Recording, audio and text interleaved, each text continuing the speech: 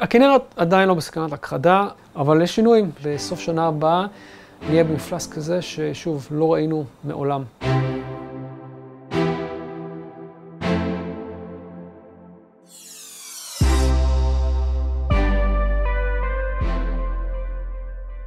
שמי גדעון גל, אני מנהל מעבדה לחקר הכנרת, חקר ימים ואגמים. אני במעבדה מאז 2001. אנחנו אחראים בראש ובראשונה על ניטור האגם, בשילוב עם מחקרים שאנחנו עורכים על מנת להבין טוב יותר תהליכים שמתרחשים במערכת האקולוגית. אני לא רואה את המקום העבודה הזה רק כמקום עבודה.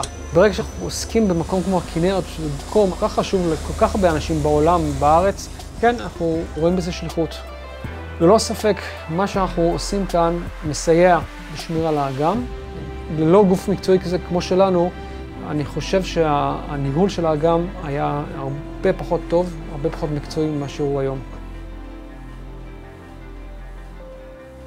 הכנרת שאנחנו מכירים היום היא כנרת שונה לחלוטין ממה שהכרנו עד באמצע שנות ה-90. היכולת שלנו לצפות מה יהיה מצב האגם מבחינת איכות המים בעוד חצי שנה או שנה, זה הפך לנושא הרבה יותר בעייתי. המערכות אקולוגיות הן מערכות סופר מורכבות. התנאים באגם הם שונים לחלוטין ממה שאנחנו מכירים.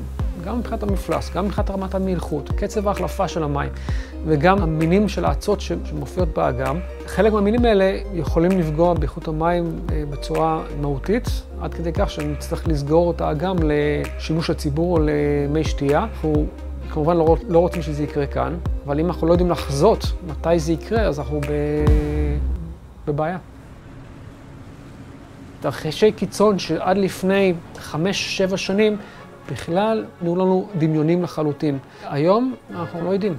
אם הפתרון לא יימצא ואנחנו נזכה בעוד שנים כגון השנים האחרונות, אנחנו צריכים להיות מוטרדים.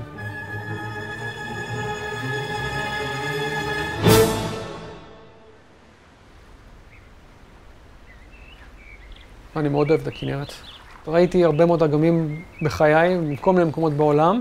כנרת, כמו שכולם יודעים, יש אחת. אני זוכר בתור נער, הייתי מגיע עם החבר'ה לכנרת. הילדים שלי עושים את זה, אני מקווה שגם הנכדים שלי ימשיכו לעשות את זה. וזה מקום שאנחנו, אין ספק שחייבים לשמר, ולהעביר את זה כמקום חי ונושם ובועט גם לדורות הבאים.